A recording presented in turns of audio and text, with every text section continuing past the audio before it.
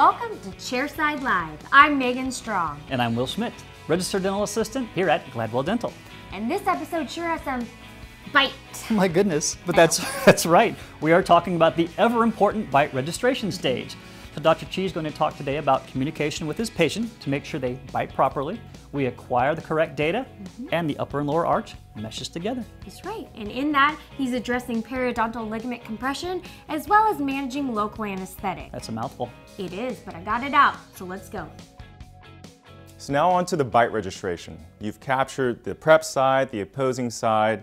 How do we bring those models together and articulate it digitally so that we can accurately establish our patient's occlusion? So making sure that we go through the correct steps before scanning the bite and then making sure you scan the bite at the right time and in the patient in the correct centric position will ensure that you have an accurate fitting restoration and occlusion. If the bite is off in any way, if the patient's bite is slightly open, that would lead to a very high restoration. And certainly we want to avoid that because there would be a lot of adjusting when the restoration's back and tried in on our patient. So let's review some steps and tips on how to ensure that we can scan the patient's bite accurately for that precise fitting occlusion. Let's take a look. So you've captured the preparation area, the prep quadrant, the opposing. Now it's how do we bring those together with an accurate bite registration? So whenever we take a digital bite registration, we capture the buccal surfaces of the patient's teeth when they're biting together. And then the system will use that position to digitally articulate those digital models. Now, we do want to capture those accurately. If the patient's slightly open during the scan, that certainly will throw off the accuracy of the, of the restoration for that area. So again, if they're slightly open, your restoration is going to come out high, which would lead to more adjustments on your end. So we want to make sure that we can design the restorations in the most accurate way by knowing what the true occlusion is for your patient. Now we have our digital model. So we, we first want to ensure that on the quadrant model of the prep, in this case it's the lower, and the quadrant model of the opposing, that you have a lot of data of the adjacent teeth, of most of the teeth that you're scanning or, or around the area that you're working on so that the system can visualize and match those same data points during the bite registration scan. So what that means is you have a lot of buccal information. You want to also have at least the buccal or the gingival margins on the buccal side because that's what the software is going to use to create that alignment to this model during the buccal scan. So we have that on the lower all the way to the canine and we try to establish the same thing on the opposing scan. So here we have the upper right scan. We have all the way to the last tooth, number two. And I like to scan the entire quadrant to the cuspids or canines, in this case to number six, forward on the mesial. So we have a lot of information for the system to use to create that alignment.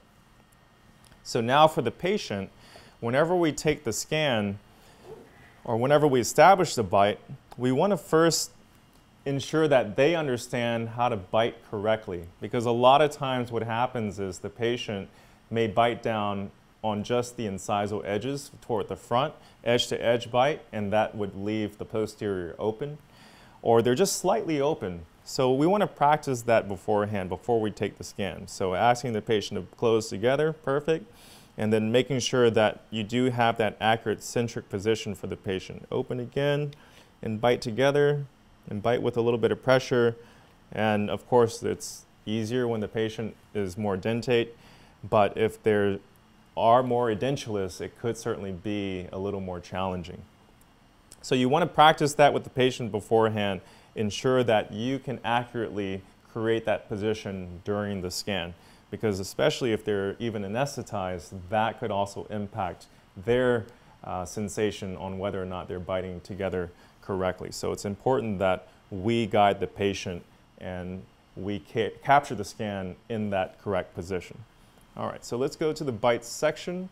So you can see on this scanner with the iTero, when you when you select bite, we have a visualization of the upper quadrant scan, the lower quadrant scan, and for this scan, what it's going to do is just merge those together. So usually when the patient's biting together, we may not have access to that area. So we'll first ask the patient to open. Go ahead and open all the way. Perfect. And then we position the scanner against the cheek and now bite all the way down together like we did earlier. So we get them back into that same position that we practiced with. And now I'll take it a step further and now bite down with pressure. So we ask the patient to bite down and just kind of clench together and that just allows the PDL to compress. It really ensures that we have the teeth in the most centric position. Once they're in that position and the camera's in position, now I'll activate the camera. So I activate the camera, here with the activation on the iTero is on the scanner itself.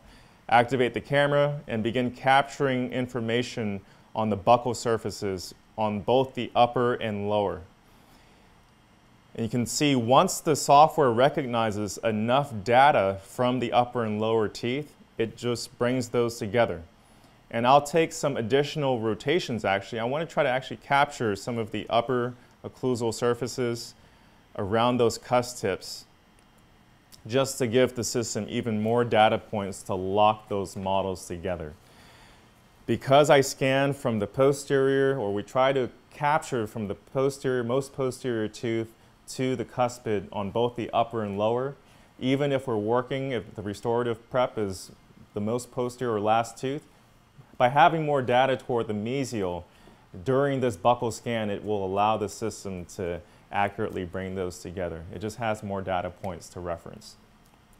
So that's how we establish an accurate bite, and that should hopefully lead to a successful and great fitting restoration with minimal occlusal adjustments. Thank you so much for that, Dr. Chi. And if you missed any of the episodes in this exciting series, you can, of course, go to chairsidelive.com, pop some popcorn, and binge watch all the episodes to get the full scoop. Oh, I'm all about binge watching. I love it. But for today's episode, we're all wrapped up. So thank you so much for watching. We'll meet you right back here next time.